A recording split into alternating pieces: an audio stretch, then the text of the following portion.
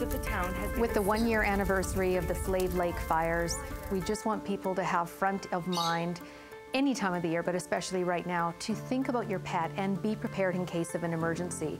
So whatever you'd be doing to prepare your family, you need to think of with your pet.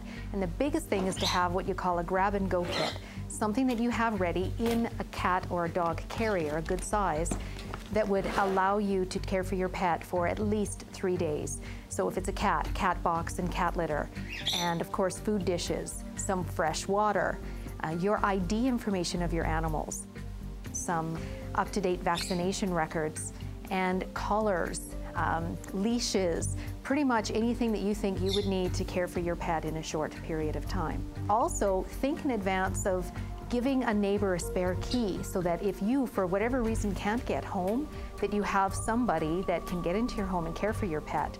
So any kind of emergency preparedness that you can think of, whether it be an instant evacuation or you can't get home, is so essential to prevent a disaster in regards to your pets. The Edmonton Humane Society has 12 guinea pigs up for adoption right now. They make really good pets if you are still committed to them to make sure that they get out of their kennel and they get exercise and that you really socialize them a lot. This one here is Cheerio. He came to us with another guinea pig about a week ago. He's very affectionate and look at him, he's just so darn cute. Consider Cheerio.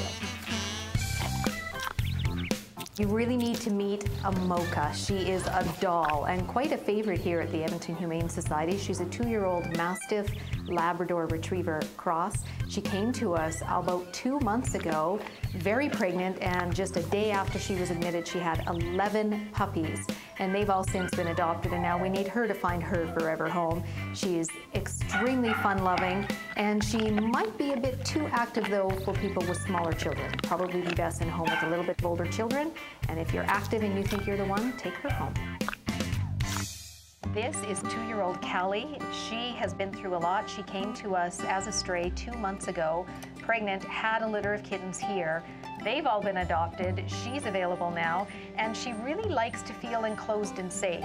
So she would be best in a home that is probably pretty quiet, someone that maybe could give her some one-on-one -on -one time.